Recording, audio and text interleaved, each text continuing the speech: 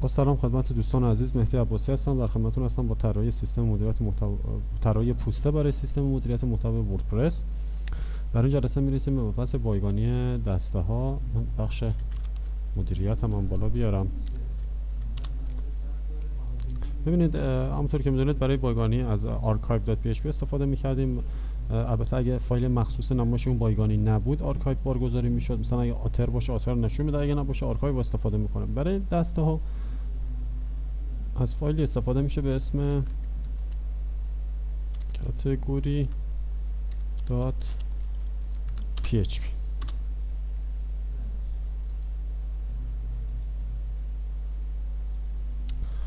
خب برای اینکه ببینیم حالا این فایل کار می‌کنه.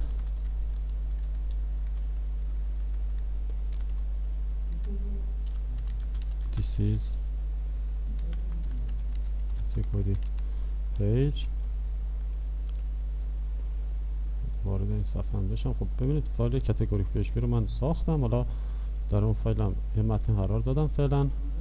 یه رفرش می‌زنم باشید روی یکی از دسته ها کلیک می‌کنیم که بره به صفحه بایگانی دسته ها ببینیم کار می‌کنه یا نه. خب بیا بالا. بله. ببینید کاتگوری این هم صفحه کاتگوری مونه خب حالا این فایل کاتگوری دقیقا مثل قبلی است. ببینید شاید ما می‌خوایم یک دسته خاص رو فقط واسه دسته خاصی کد خاص بنویسیم. مثلا اگه دسته نمونه کارها بود رنگ متن تغییر بکنه یا عکس خاصی رو نشون بدیم توی صفحه یا یه سری امکاناتو. به این شکل است که شما بخش مدیریت اول برید.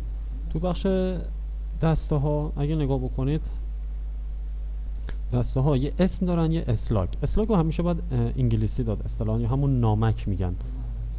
نامک یا همون اسلاگ خب این چیزیه که در نشانی استفاده میشه. و بهتر اینه که نامک ها به انگلیسی وارد بشن. اگه قراره واسه شون یک فایل مخصوص ساخته بشه مثلا میشه featured post نامکش هم به این شکل نوشته میشه. خب حالا اگه بخوایم یک فایل مخصوص واسه فایل category مخصوص یک دسته خاص داشته باشیم. category dash به اضافه نامکش. خب یا همون slug ش اصطلاحا. اینجا مثلا featured post ه درسته؟ من اینو میارم. یک category dash و نامک. خب. وردپرس وقتی که می‌خوره می‌رسه می‌خواد یک یعنی وارد کاربر آدرس یک صفحه بایگانی مربوط به دسته ها رو نشون میده. اولین چیزی که چک می‌کنه ببینه آیا فایل کتگوری دش و نامک اون دسته وجود داره اگه داشت اونو بارگذاری می‌کنه. خب حالا ما یکی رو باز می‌کنیم. خب.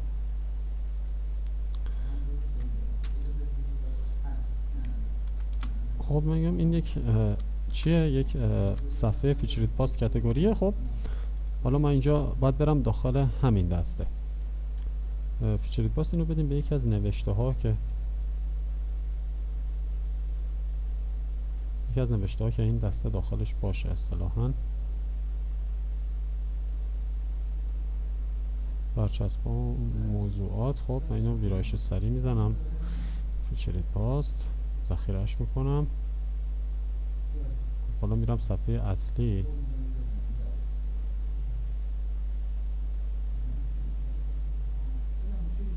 همون پست اول رو همین دسته رو بهش اطلاق کردم. جون می‌کنه تا رفرش کنه یه چیزی رو. خب. خب روی نام دسته می‌زنم. ببینید this is featured pass category page. فایل رو بارگذاری کرد. خب. اگه دسته ای باشه که فایل مربوطش مثل کتگوری داش نام اون نامک اون دسته نباشه کتگوری پی رو بارگذاری می‌کنه. خب حالا یه, یه من ببخشید برمیگردم. حالا روی طراحی پوسته می‌زنم دسته طراحی پوسته. حالا فایل category PHP اومد. This is category page خب این از این. مورد بعدی اینه که اگه این فایل category dash نامک دسته نبود چی؟ اون موقع وردپرس میگرده دنبال فایلی به اسم category dash ID اون دسته. خب الان من اینجا آیدی این دستم رو در میارم در بردن آیدیاشون هم راحته. روشون می‌زنید؟ آیدی اون دسته رو خیلی راحت می‌تونید از این اینجا به دست بیارید. اینجا نوشته تگ آیدی هفت.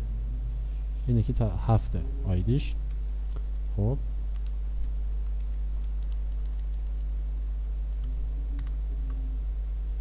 خب حالا میام اینجا. دوباره تو صفحمون یه back می‌زنم من. روی featured post می‌زنم. دوباره این دفعه از ببینید دوباره نوشته درسته بهمون نشون داد. محتویات فایل category dash 7 رو میاریم ببینیم همینه نوشته. که اینجا می‌تونیم ببینیمش. اگه این فایل نبود چی؟ اگه این فایل نبود میره سراغ یعنی اگه category dash slug نبود میره سراغ category dash ID اون. دسته. اگه اون فایل هم نبود میره سراغ category PHP اگه اون نبود archive PHP رو بارگذاری می‌کنه و اگه آرکایو نبود از index PHP استفاده می‌کنه. تا محتویات دسته رو نشون بده. خب بریم سراغ یه سری از یه کمی بهترش کنیم این سفر رو. هیدر رو اول بارگذاری می‌کنیم. سرصفحه اصطلاحا. هیدر گت هیدر و در ادامه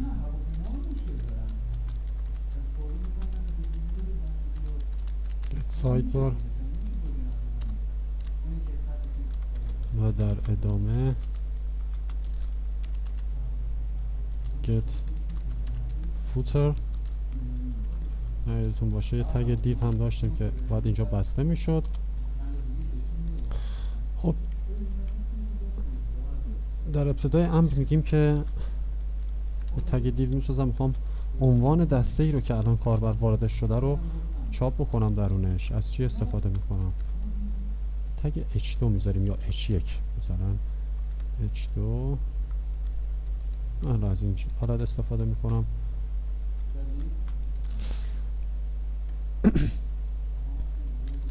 از تابع single. cat. title می‌تونیم استفاده کنیم برای نمایش عنوان یک دسته. خب میرم تو همین دسته featured post هست الان یا مثلا دسته نام فارسی داشته باشه. بهتره. اینو گذاشتیم توی category هفت هست الان باشه من اینو cut ش بکنم این فایل رو نمی‌خوام. اینجا بذارمش. تو فایل category PHP بنویسید ببخشید. چون می‌خوایم حالت عمومیش رو تمرین بکنیم.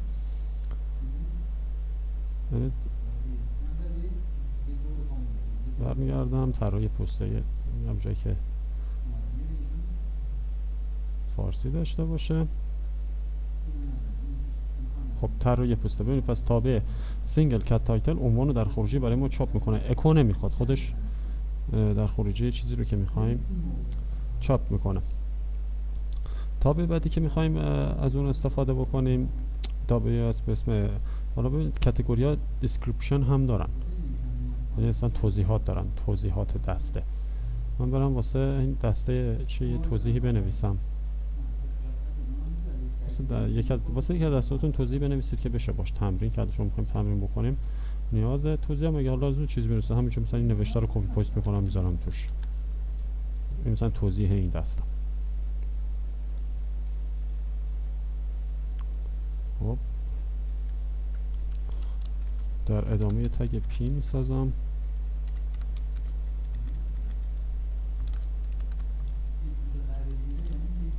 انکودینگش رو بذاریم روی UTF-8 خب. توضیح. PHP از تابع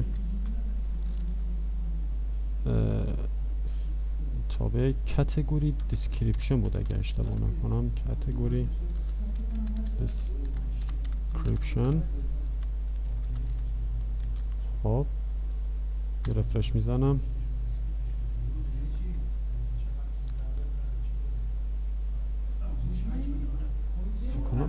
فکر کنم اکو می‌خواد.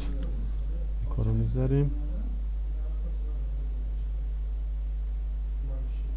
این هم توضیحش. حالا افتاد خط بعدیه نگاهی بکنیم ببینیم چرا. فکر کنم یه tag p خودش می‌سازه به صورت اتوماتیک واسه این مورد. از inspector استفاده می‌کنم. بله خودش tag p می‌سازه. می‌تونید از همون tag خودش استفاده بکنید اصطلاحا. تگ پی خودش و اونو در خروجی مقدار دهی بکنید. حالا من این توضیحش که برمیدارم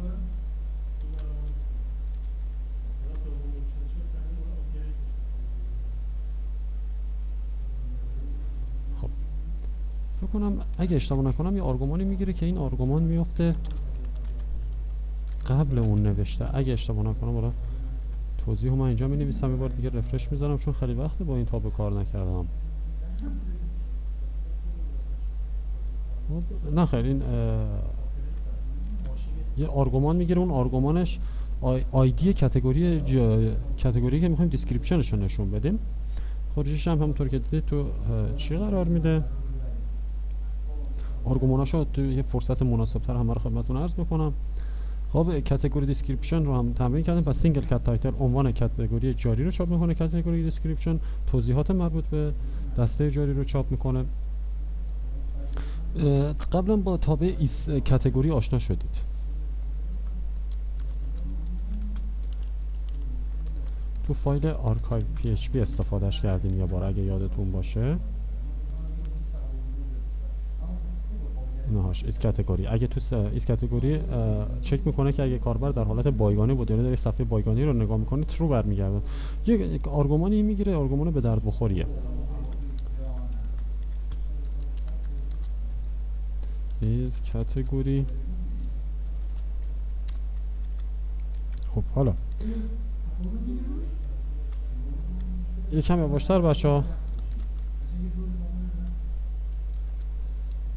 if خب اگه داخل صفحه بایگانی بودیم که هستیم الان. این تابع is category تو اینجا حالا مثلا پیش خودتون میگید خب وقتی داره صفحه category PHP بارگذاری شده یعنی صفحه category is به درد نمی‌خوره. خب حالا این باشه میگم if به درد نمی‌خوره. if حالا دقیقا بچه‌ها یکم یواشتر اینجا آرگومان می‌تونیم بهش بدیم. نام category یا نامکش رو اگه اینجا بنویسید چک می‌کنه که ببینم تو اون الان داره اون دسته رو نشون میده یا نه. به عنوان مثال همون نامک مثلا از نامک طراحی پوسته من ببینم نامک شه از این استفاده می‌کنم.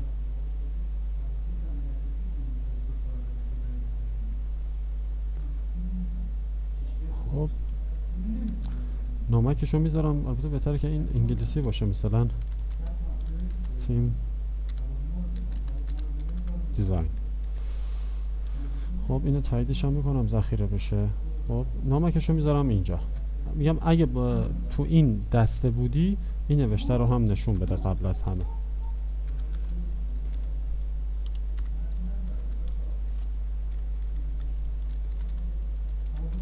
This is tem design category page. خب حالا میام اینجا. رفرش رو می‌زنم الان تو طراحی پوسته هم هستیم. میگم اگه تو این دسته بودیم به قول معروف یک چی هم نشون بده. الان دقیقا طراحی پوسته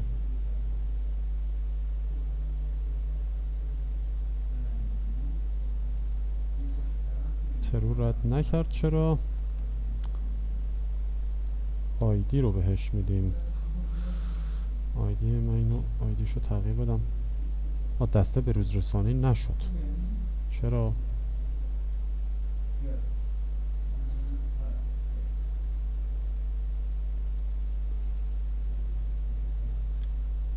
تیم دیزاین دوباره می‌زنم.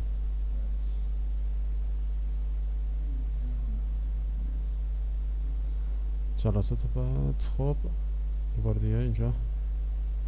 او رفت کجا؟ ببخشید. من اشتباهی رو چیزی کلیک زدم.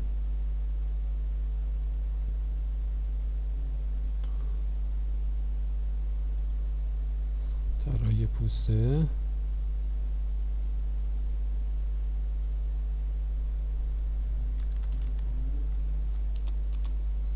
با تیم دیزاین رو مثلا نامکش رو انگلیسی می‌ذارم. فارسی هم باشه مشکلی نداره ولی بهتره که اسلاک ها یا همون نامک ها رو انگلیسی بهش بدید. خب به روزستانش نکرد. حالا از همون چیه خودش استفاده این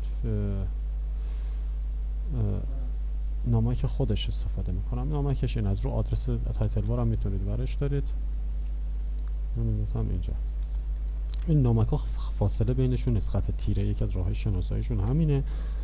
خب رفرش رو می‌زنم.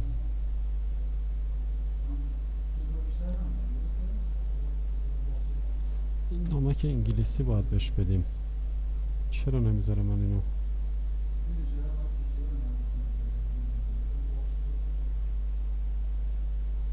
از این featured post یا پاست استفاده می‌کنم.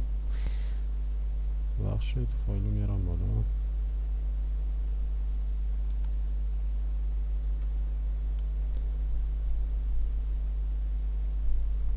برمیگردم صفحه خانگی خب،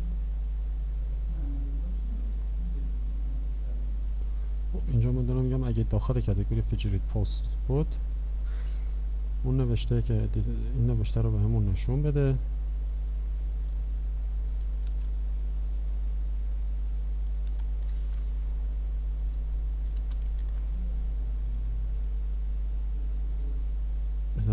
دستاش که صفحش بیاد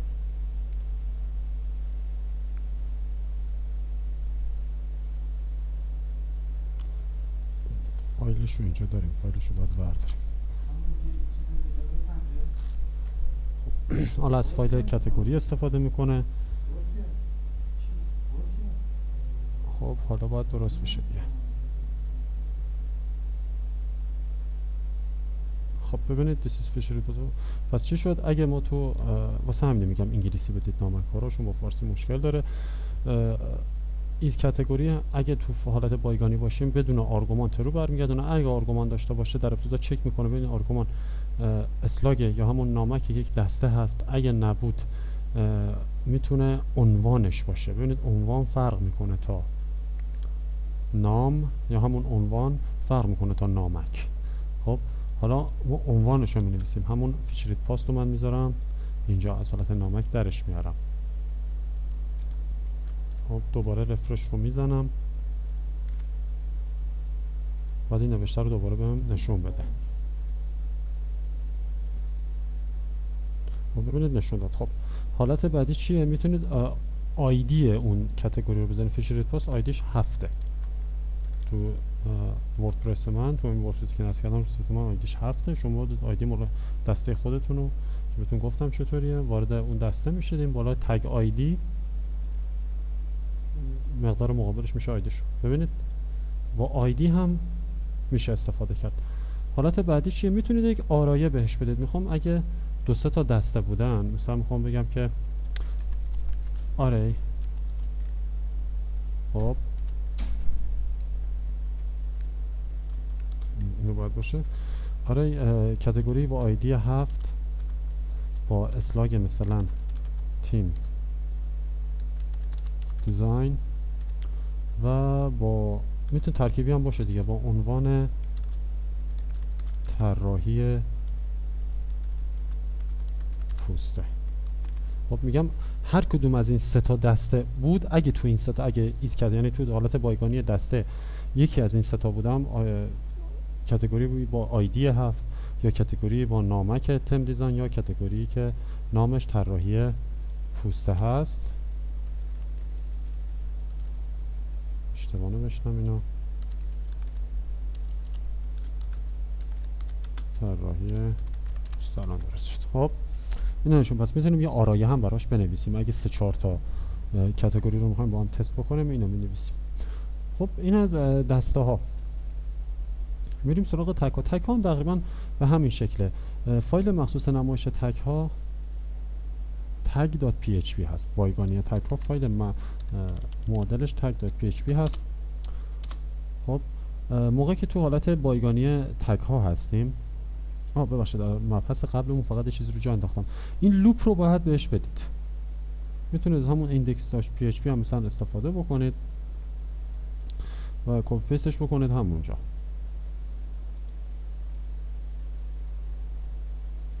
ایف حفاظ تا مطالب قدیمی تر و جدید تر رو من می‌گیرم.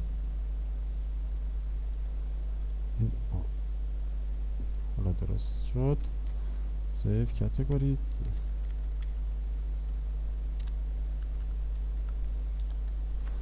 خب حالا رفرش رو می‌زنم.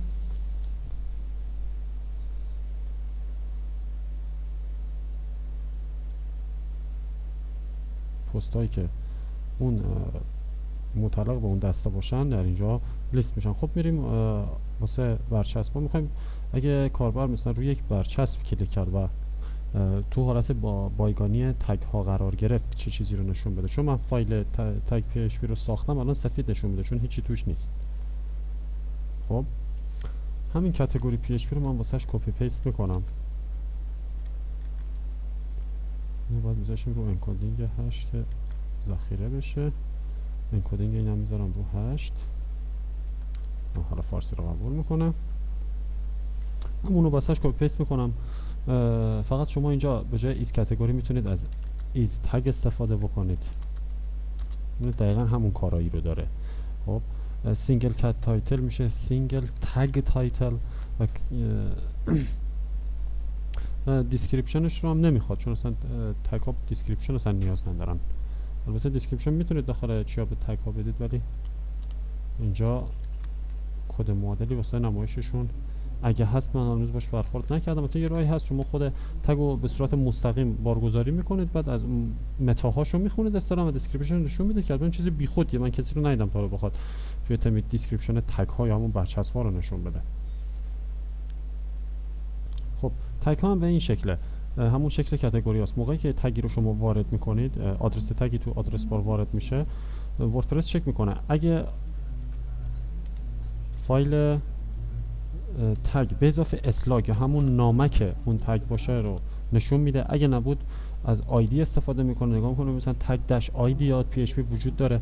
اگه نبود tag PHP و اگه tag PHP هم نبود archive PHP و در انتها اگه archive PHP نبود index PHP دقیقاً مثل author PHP و category type PHP وردپرس همیشه اینجوری استفاده می‌کنه. فایل به اضافه باشه خط تیره slug اون category slug اون tag یا اون author نویسنده. اگه نبود ID اون نویسنده یا اینجا ما چون tag استفاده کنیم ID اون tag.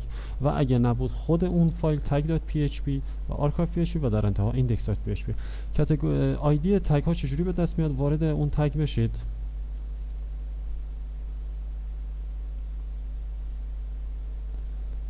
اینجا tag ID می‌تونید ID رو به دست بیارید. فکر کنم این category رو بکنیم. tag description رو نشون میده. اگه نباشه اون خطا رد می‌کنه. تا حالا خودم شخص توش با تمی استفاده نکردم. بخوام description tag رو نشون بدم. خب ببینید پیغام خطا رد کردیم. همچین تابعی نداریم واسه tag ها باید به روش خاص دیگه ای واسه گرفتن description شو استفاده کرد. البته من ما بی خوده فعلا میگم برخورد نکردم. با که بخوام description توضیح یک tag رو نمایش بدم. خب این هم, هم از این جلسه حالا من refresh می‌زنم. این هم از این جلسه. دوستان خیلی سریع دوباره خدمتتون عرض می‌کنم.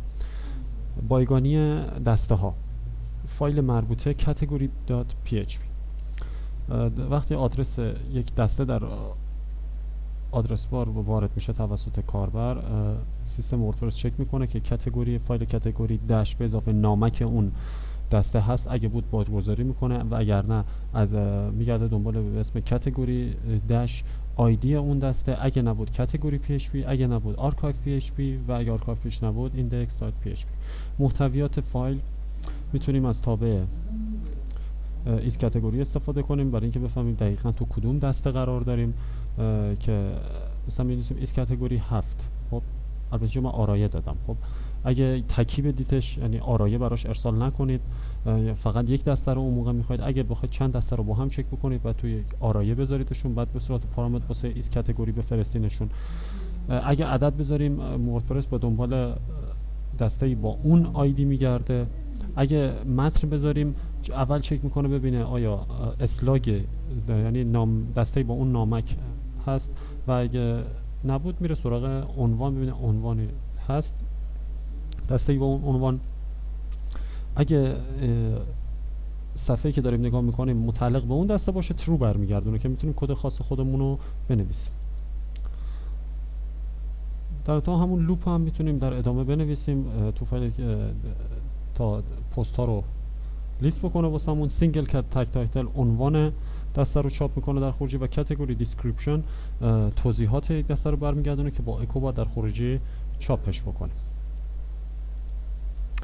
tag.php دقیقا مثل همون مورد قبلی is tag همون کار رو انجام میده و single tag title عنوان برچسب چاپ می‌کنه. tag description نداریم و در انتها هم مثل همون بقیه صفحات بایگانی